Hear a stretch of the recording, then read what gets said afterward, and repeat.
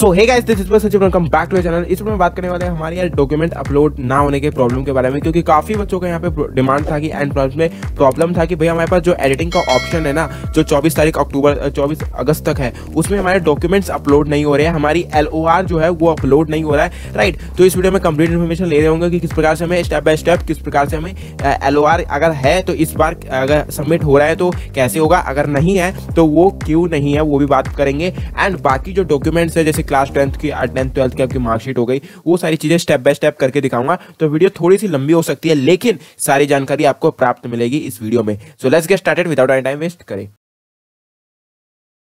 तो सबसे पहले बता दूँ यार यहाँ पे आप सभी का 24 तारीख तक ये वाला डेट है राइट ये तो आप सभी को पता होगा कल मैंने लास्ट कल वाली वीडियो में मैंने बता दिया था ठीक है? यहाँ पे काफ़ी बच्चों का ये प्रॉब्लम आया था कि भैया हमारे पास जो आ, आपका डॉक्यूमेंट अपलोड करने का फ़ंक्शन है यहाँ पे अगर आप जैसे डी एस वेबसाइट पे जाओगे एंड अप्लाई नाउ पे क्लिक करोगे ठीक है? एंड इस वाले ये वाला कुछ इंटरफेस खुल जाएगा इस पर साइन इन कर लेते हैं हम सब ठीक है? हमने पासवर्ड एंड वो ईमेल आईडी डाल के हमने साइन इन कर लिया यहाँ पे, ठीक है? फिर उसके बाद क्या करना है? माई एप्लीकेशन पे क्लिक करना है और उसके बाद ये जो एडिटिंग का ऑप्शन है, इस पर हमें क्लिक कर देना है, ठीक है? हमने इस पर क्लिक कर दिया, इस तरीके का हमारे पास पॉपअप आ गया एंड उसके बाद हमें क्या करना है? इस तरीके की साइड इन्फॉर्मेशन आ गई, ठीक है? अब यहाँ पे काफ़ी बच्चों का ये प्रॉब्लम है कि भैया हमारे पास जो ये डॉक्यूमेंट है ना, ये अपलोड नहीं हो रहा है, ठीक है? और प्लस में एल ओ आर यहाँ पे सबसे पहले मैं बता दू एल ओ आर के बारे में कि एल ओ आर क्यों मतलब एक्चुअल में हमारा पास क्या रीजन है एल ओ आर ना सबमिट होने का, ठीक है? एल ओ आर सबमिट ना होने का, ठीक है? ये सबमिट नहीं हो रहा है। अब यहाँ पे मैं बता दू एल का जो फ़ंक्शन है, जो फ़र्स्ट टाइम आप सभी का एडिटिंग का ऑप्शन खुला था ना फ़र्स्ट टाइम जो एडिटिंग का ऑप्शन खुला था, उसमें आपका एल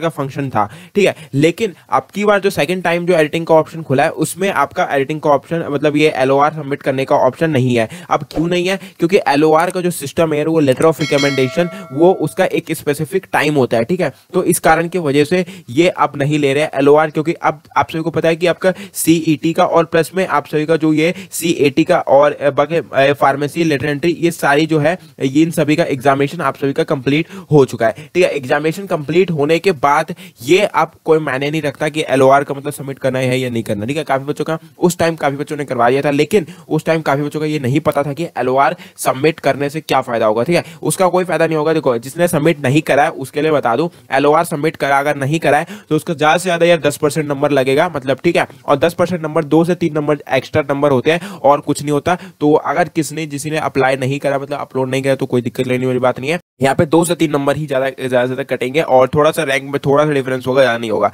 ठीक है? यहाँ पे, लेकिन अगर किसी को एडिट करना है अभी भी, ठीक है? काफ़ी बच्चों का अभी भी एडिट करना है हमारे पास जो एल है। ठीक है? एल अभी भी सबमिट करने का ऑप्शन ये देखो अभी जो सबमिट करने का वो ऑप्शन है, सबसे पहले आ जाता है आपका ईमेल का, ठीक है? यही आपके पास एक, और मात्र ऑप्शन है कि बस और सिर्फ़ सिर्फ़ आप ईमेल के थ्रू ही आप इसको एडिट कर सकते हो।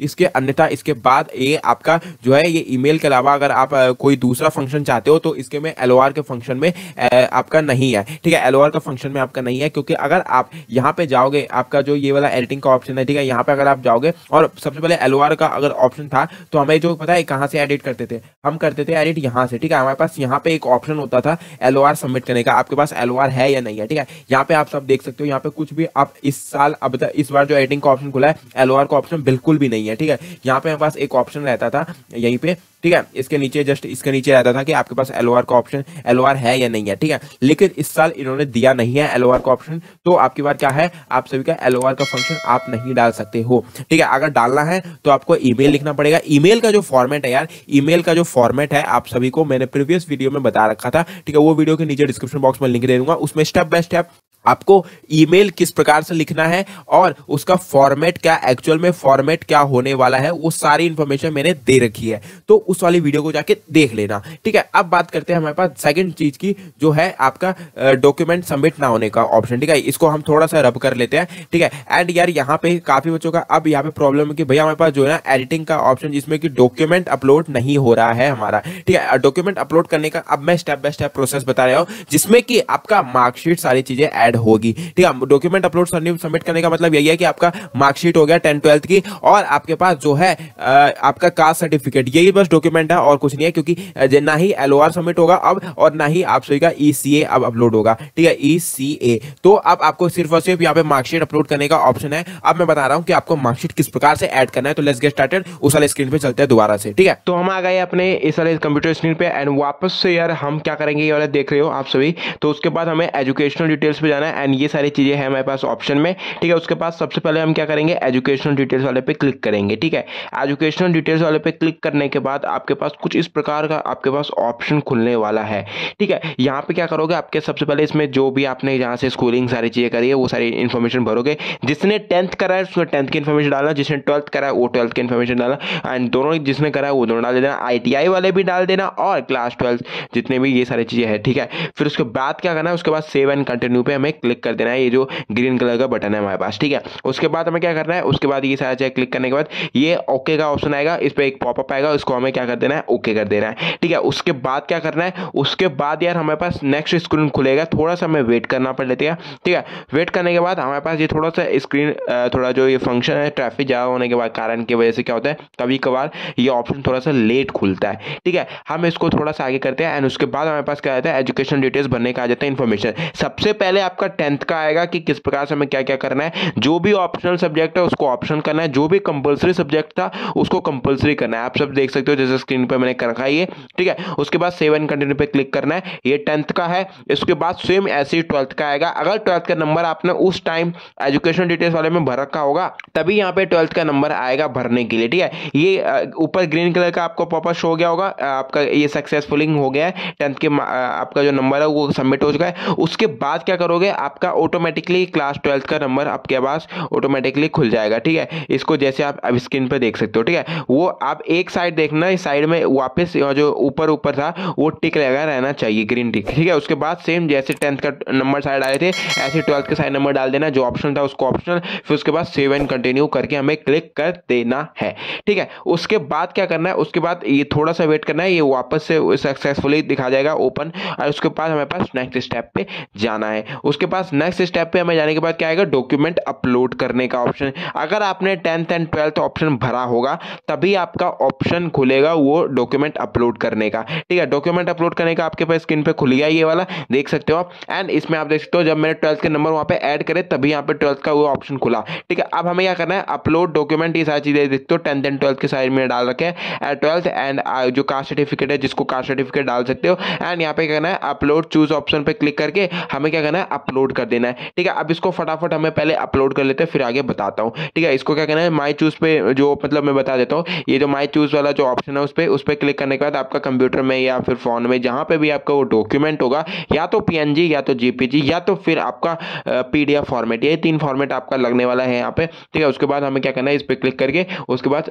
वो जो साइड में येलो कलर का बटन है अपलोड पे उस पर क्लिक कर देना है। उसके बाद मैं आगे का प्रोसेस बताता हूँ अभी। ठीक है, फिर अपलोड करके एक बार सारी चीज़ चेक कर लेना। उसके बाद क्या करना है आपको देख लेना, वहाँ पे आपका प्रोविज़न है तो प्रोविजनल अगर फाइनल वाला आ गया सीबीएसई की तरफ़ से तो उसको भी अब वो ओरिजिनल कर देना। फिर उसके बाद क्या करना है? सेव एंड कंटिन्यू पे क्लिक कर देना है। ठीक है, जो ग्रीन कलर का आपके पास बटन दिख रहा, उस पर जैसे आप उस पर क्लिक करोगे, उसके बाद क्या आपके पास नेक्स्ट ऑप्शन खुल जाने वाला है, जिसमें कि आपका कोर्स सिलेक्शन का आ जाएगा। यहाँ पे एक बात ध्यान रख लेना कोर्स सिलेक्शन में एक चीज़ बता दूँ कि अब जो है, अगर जिसको सीईटी वाले बच्चे हैं, जैसे सीईटी वाले बच्चे, जिसका अब यूएफएम आ गया है तो उसके अगर वो ट्वेल्थ वाला बच्चा है तो आप क्या कर सकते हो यूजी वाले में भी अप्लाई कर सकते हो। ठीक है, यहाँ पे जो भी आपका कोर्स है, वो सारी चीज़ें कोर्स सेलेक्ट करके फिर सेवन करने पे क्लिक कर देना। यहाँ पे काफ़ी सारी बातें हैं जो आपको ध्यान में रखनी है। अगर सी वाले सी वाले बच्चे हैं सी प्लस में सी वाले बच्चे हैं, ठीक है, वो अब दोबारा से अप्लाई नहीं कर सकते इसमें, ठीक है, क्योंकि उनका दोबारा से एग्जामिनेशन हो चुका है। अब तो दोबारा एग्जामिनेशन होगा नहीं, ठीक है। जो ट्वेल्थ वाले बच्चे हैं, जिसने डिप्लोमा के लिए अप्लाई करा था, उसको बाद क्या कर सकता है, वो अब ट्वेल्थ वाले के लिए अप्लाई कर सकता है, जैसे अब यूजी कोर्सेज वगैरह, सारी चीज़ें के लिए, ठीक है। उस पर आपको क्लिक करके वो सारा ऑप्शन दबा सकता है। जैसे कि मैंने इस वाले में आपका लास्ट वाला ऑप्शन दबाया ठीक है? जैसे ये वाला पहले था, आपका सीटी वाला था, ठीक है? सीटी वाले बच्चे का। तो उसका क्या आया था गलती से उसका यूएफएम आ गया यूएफएम टिक करने का मैंने प्रोसेस बताया था प्रीवियस वीडियो में जाके देख लेना, ठीक है? वो वीडियो में नीचे डिस्क्रिप्शन बॉक्स में डाल दूँगा, वहाँ से जाके देख लेना। उसके बाद क्या करना है आपको, यहाँ पे जो भी आपका ऑप्शन है, उस पर क्लिक कर लेना है आपको, ठीक है? ये सारी चीज़ें मैंने इन्फॉर्मेशन बता दी आपको एंड जो भी आपका मतलब है, वो कर लेना। इन फ्यूचर आप सारी चीज़ें देख के रखना। फिर उसके बाद सेवन कंटिन्यू पे क्लिक करके उसके बाद क्या करना है, आपका प्रिव्यू फॉर्म आ जाएगा, मैं आपको करके दिखा देता हूँ, ठीक है? ठीक है, जैसे आप सब देख सकते हो, इसमें मैंने सारी चीज़ें इन्फॉर्मेशन लगा दिया उसके बाद क्या करना है, हमारे पास जो ग्रीन कलर का बटन है, उस पर क्लिक कर देना हमें सेवन कंटिन्यू पे। उसके बाद हमारे पास सारा प्रीवियस फॉर्म खुल जाएगा प्रीव्यू फॉर्म याद रखना, ये एक ही बार अब एडिट होगा, उसके बाद क्या करना है, नीचे जो ऑप्शन है हमारे पास सेवन वो वाला आई सेलेक्ट करने का, जो आपका टर्म एंड कंडीशन है, उस पर क्लिक कर देना है एंड फिर सेव एंड कंटिन्यू पे क्लिक कर देना है। सेव एंड सबमिट पे क्लिक कर देना है। सेव एंड सबमिट करने पे क्लिक करने के बाद आपके पास कौन सा ऑप्शन आ जाएगा? एक पॉपअप आ जाएगा ओके करने का, इस पर ओके कर देना। इसका मतलब है कि आपका लास्ट बार आप एडिट कर रहे हो, उसके बाद आप एडिट करने का ऑप्शन नहीं मिलेगा।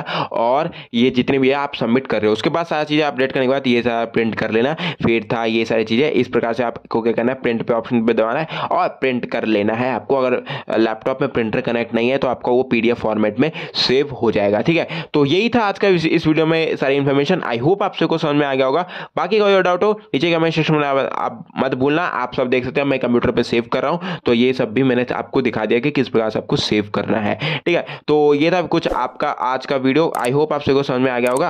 बाकी कोई और डाउट हो, नीचे कमेंट सेक्शन आप सभी के लिए खुला रहेगा। तब तक ले जाते हैं मिलते हैं नेक्स्ट वीडियो में शानदार टॉपिक के साथ बाय